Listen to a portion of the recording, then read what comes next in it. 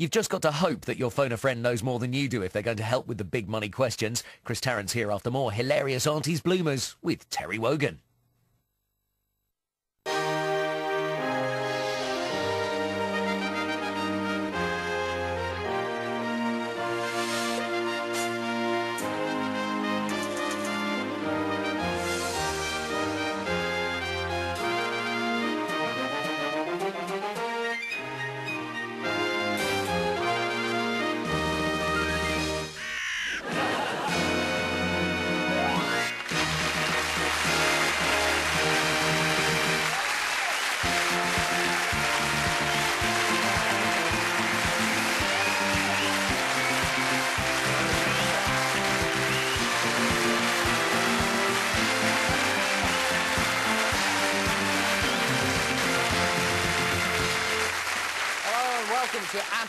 Bloomers, a sort of crafty rummage around the BBC's drawers. Gather together a comedy of errors, many never seen before on British television. This is the show that keeps in all the cock-ups and cuts out all the best bits. Those of you who remember Crossroads will get the general idea. but before we embark on this mass destruction of professional reputations, there's something we desperately need to explain. Throughout the show, you'll hear quite a lot of this. Now, when you hear all it means is that a mild expletive has slipped from the lips of a frustrated television performer. and you just have to use your imagination. Probably covering up something like Heavens to Betsy, Fiddle-dee-dee. Now you'll hear a lot of high-sounding talk from people in this business about how difficult it all is. Television is as easy as falling off a log. The 82nd Airborne Division of the American Army are among the toughest troops in the world, held at what is known as instant readiness. not one week's notice, not one day's notice, not one hour's notice to go into action, but instant notice. The American Army has a long history of arriving just in time to save the day, and it goes right back to the days of the earliest settlers, when traditionally the cavalry would gallop over the hills to save the settlers. And the American soldier has always been an integrated part of the American way of life. Now you've got one here. I gather that you've practically had to rear yourself. Well, I can't claim to have reared it myself, but Marina, the girl who looks after all our llamas, and my wife, started off by feeding Caesar eight times a day. In fact, Caesar's, Caesar's mother had sadly died before he was born. Uh, she had complications with the birth. Caesar was subsequently...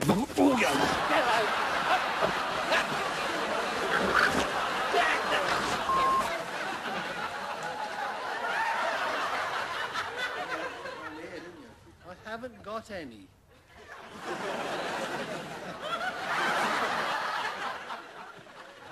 This is the one that really caused the problems, and it's caused one for him too. Oh, he seemed to lose all confidence. He just threw that off. He caught his thigh in the handlebars. You can see him holding himself down. Oh, dear. And St. John's ambulance man uh, trying to get there in a hurry. And he probably needs some treatment in a minute. Nick the promoter. I'm sorry, this is... Uh, one shouldn't laugh. The call-out uh, took a nasty knock there, but this is uh, a bit like the Keystone Cops down there. No, one shouldn't laugh. you wouldn't believe how popular I've become in the BBC canteen ever since the word got around that I was going to be putting this program together. I've been showered with jammy dodgers and toad in the hole by some of television's most illustrious names, all desperate not to appear on this show.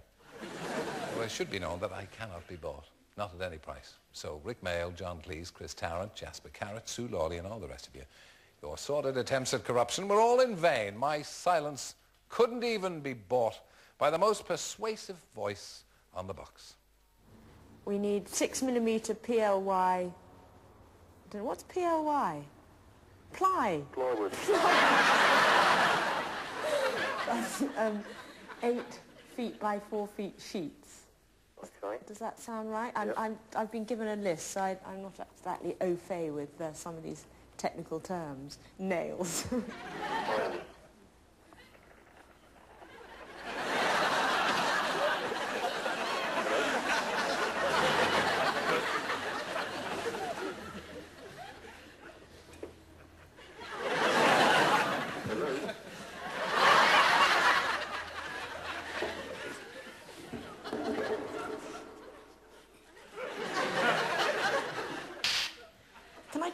statue on buckets and sponges. Do you have those? Oh, wonderful. We, we need 20 large buckets and sponges.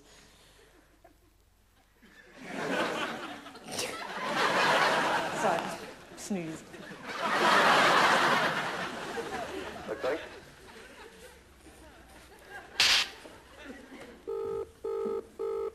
Good morning, Mark? Can I help you? Mark? Is that Mark? It's Chris. Chris, is Mark there? Oh,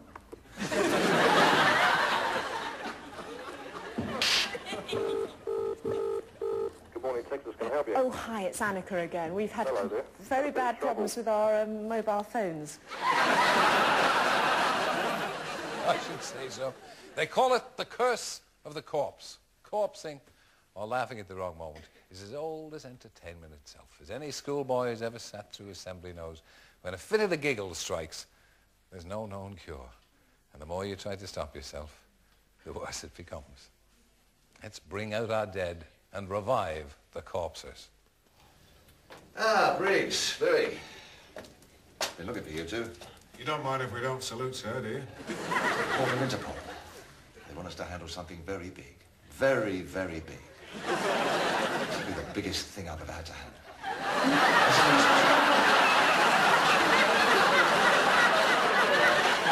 Well, I would like a pea. Did you? Piper! Oh, I, That's a relief to everybody. Slightly, uh, slightly wrong. It, it, it, we take the initial of the piece code as well as the initial of the composer. Yes, I see. Wait for the next one. Mr. Solicitor has gone on a long, long...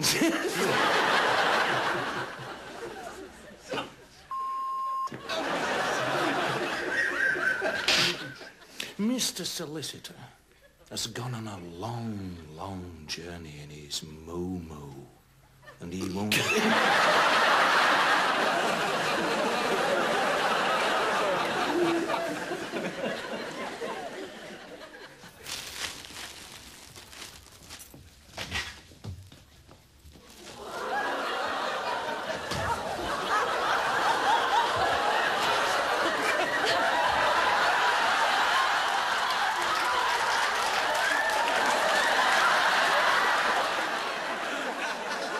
This list of your graphs, Briggs?